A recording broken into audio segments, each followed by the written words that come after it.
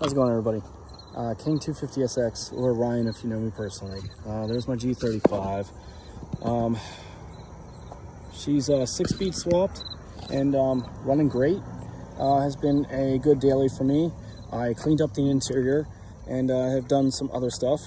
Uh, this is my $300 salvage titled car. I got it registered and um, I am going to get it inspected tomorrow. But uh, this is the interior. I need this dash piece and um, she's only got 139k on it. She runs and drives um, great. Uh, with a couple uh, lights on. I think I have the keys on me. Yes I do. They're in my other pocket. I'm trying to keep this brief and short and uh, quick because apparently my stupid phone decides that it doesn't have enough information on it. So the car's in first gear. My e-brake doesn't work. So go it is working and driving great. Um, that is stuck on, so I'm sorry for that. I can't shut it off. I can't turn it down or anything. It's it's on auto. Uh, G35s are known for that, and the radio doesn't work. So I'm gonna do the uh, infamous double DIN um, swap and uh, get that accomplished.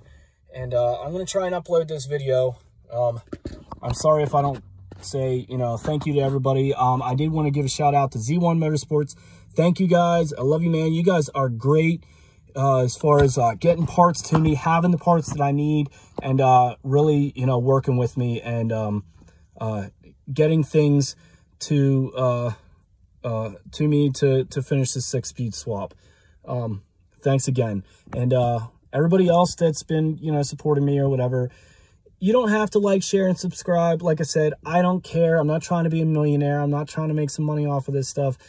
I go to work every day, and I'm content with that, okay? I don't want to be like a, a famous YouTuber, scratch all that shit, okay? That is too much work. I've seen these guys that uh, do YouTube, you know, eh, for a daily, you know, for a job, and it's, dude, it's a lot of work. I don't have that kind of, you know, mind in that that capacity. I'm too busy generally. I can't sit behind a computer or behind a vi uh, video camera or whatever you know 18 19 20 hours a day you know and and i'm not having a camera follow me around. I don't want my life like that okay? So this is what you guys get. Um the g35 six speed swap came out great. Uh this is what the dash or the you know the center console looks like. I was able to nick this from a manual one uh, at the junkyard and I got it for like dirt cheap. The most expensive thing about this car is the $1,300 transmission that's under it. Um, the drive shaft uh, that comes with it, with the automatic, works great. It goes right with it. You don't you don't have to do anything to that. It goes right in. Uh, it's meant for it. Um, there's a lot of guys that wondered if you can use the automatic ECU. Yes, you can. I'm using the automatic ECU right now. I don't have to convert it over. You're just going to have some idiot lights on. That's it. If you follow the uh, G35 um, driver, the the the uh, there's a bunch of guys uh, that go over the install and everything, and they have you know the wiring and all that shit um, uh, on there, and they will tell you how to do it. If you follow that, it will work. But make sure you add that 12 volts to that yellow wire with the red stripe on the other side of the uh, reverse lamp relay.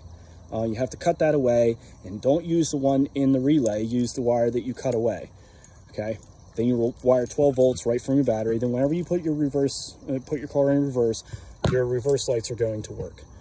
Um, so I'm gonna try and get you guys a video on the, uh, where is it? Oh, it's behind the camper. Uh, on the 240. Um, I did some things to it, wheels and uh, uh, brakes, and that's coming soon. Um, love you guys. Take care. Peace.